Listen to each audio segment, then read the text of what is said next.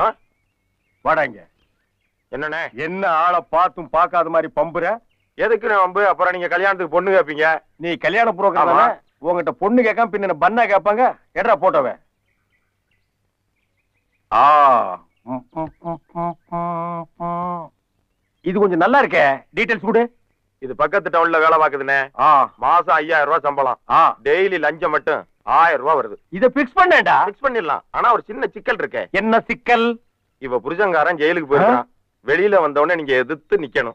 இது சின்ன சிக்கலாடா. இதான்டா சிக்கலின் எல்லையே. இந்த கண்டம் மட்டும் கேன்சல் பண்ணிக்க. நெக்ஸ்ட் பாப்போம். ஓ. இது நல்லா இருக்கே. இது யாரு? இது மிலிட்டரிக்காரர் பொண்ணுண்ணே ஆ. வசதியான குடும்பம்.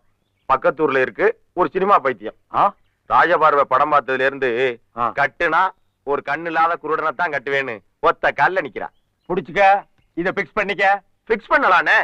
ஆனா கண்ணு இல்லாத ஒரு குருடன் வேணுமே. ஐ அம் ஐ அம் பிளைண்ட்ரா ஐ அம் பிளைண்ட் டேய் என்னடா வாராய் நீ வாராய்ங்கிற மாதிரி எங்க கூட்டி கொண்டு போய் தள்ள போறியா? பொண்ணு கிடைக்கிறது என்ன அவ்வளவு சுலபமா? தூண்டிலோட இப்ப வரேன் பேசாம ஏறுங்க. எங்கடா காணோம்? அண்ணே கொஞ்சம் திரும்பி அப்படியே ஒரு லுக் விடுங்க மூஞ்சி எங்கடா? வச்சிருக்கானே. எங்க சேட்டு கடையிலயா? கொஞ்சம் பொறுங்க.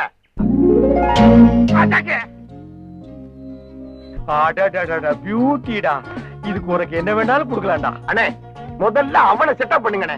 நம்ம ரேட்ட பிறகு பேசிக்குவோம்ண்ணே. ஏய் நான் சொன்ன மாதிரி எல்லாம் நடிச்சிருவல்ல. இப்ப பாருங்க பிச்சிடுறேன்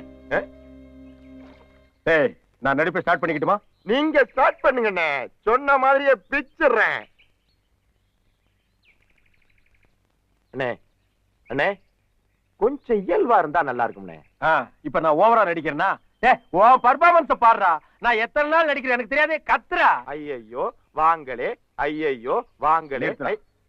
இன்னொருக்கா சொல்லு.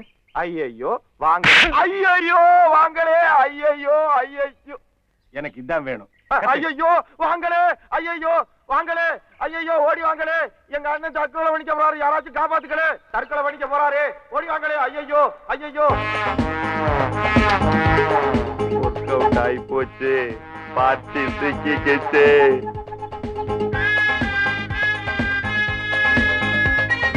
என்னங்க நில்லுங்க வந்துச்சுங்களா போய் அண்ணனை காப்பாத்துக்க என்ன இது? என்ன இதா? என்ன கிண்டலா? எனக்கு தான் கண்ணு தெரியாது. கண்ணு தெரிஞ்ச உங்களுக்குமா இது என்னன்னு தெரியல. எங்க போறீங்க? என்ன விட்டுருங்க. என்ன தடுக்காதீங்க. என் சீதா போன இடத்துக்கே நானும் போறேன். அண்ணன் பூந்து விளையாடுறாரு. என்ன விடுங்க. என்ன விடுங்க.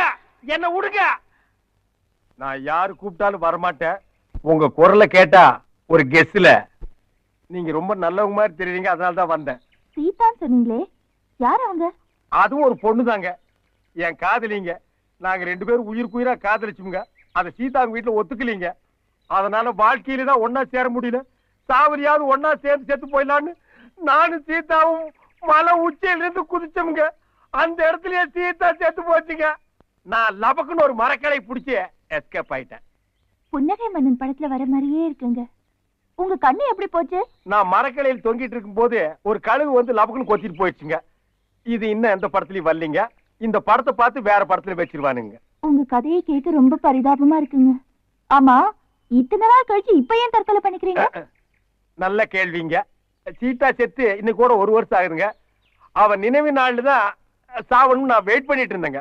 அண்ணே சாக தெரிஞ்சீங்களே நிறந்த பொண்ணு வரலைன்னா உங்க நிலைமை என்னென்ன ஆயிருக்கும்? பாசமுள்ள தம்பிங்க. ரொம்ப ஓவர் ஆக்ட் பண்ணாத. அப்படியே மூச்சை நிறுத்திடுவேன். போ. என்னங்க? காதலியோட நினைவுலயே ஒரு வருஷம் வாழ்ந்துட்டு அவ நினைவு நாள்லயே வந்து சாக துடிக்கிறீங்களே. அந்த காதலை நான் ரொம்ப பாராட்டுறேன். நான் கல்யாணம் பண்ணிக்கிட்டா உங்களை தாங்க பண்ணிப்பேன்.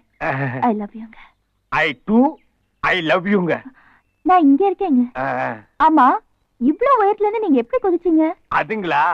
பக்கத்திலேயே பாசமுள்ள ஒரு தம்பி இருந்தானுங்களே எங்கீங்க? அண்ணா நான் உங்க பக்கத்திலே இருக்கிறேன்னா ஆ வா தம்பி. கரெக்டா. வாமா ரைட்டுக்கு வாமா. அப்படியே திரும்பி நில்லு. ஐயோ!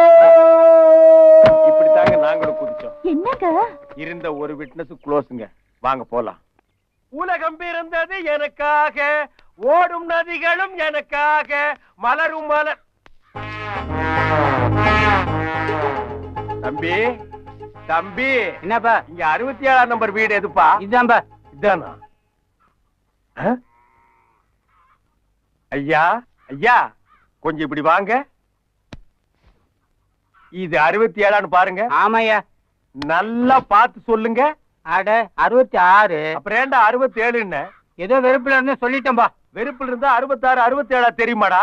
இப்ப நான் கூட தான் வெறுப்பு இருக்கிறேன். ரெண்டு செருப்படி வாங்கிக்கிறியா? போடா. பேமானி. அறுபத்தி ஏழு அடுத்து விடுங்களா ஐயா. ஐயா. ஐயா. ஐயா. ஓ இவன் தான் நம்ம மாமனாரா. அப்பா இந்தாங்கப்பா பேப்பர் ஆ. அப்பா நம்ம ஆள் வந்தாச்சு. ஐயா அம்மா. ஐயா ஐயா. அப்பா நான் சொன்னேனே அவர் வந்திருக்காரு. யாரு? இந்த பிளைன் மாப்பிளையா. மாப்பிள நான் தானுங்க. வாங்க உள்ள. எப்படிங்க மாமா உள்ள வர்றது? இவ்வளவு பெரிய பூட்டு போட்டு வச்சிருக்கீங்களா? ஒரு டூ ஸ்டெப்ஸ் ரைட்ல போங்க மாப்பிள. எதுக்குங்க?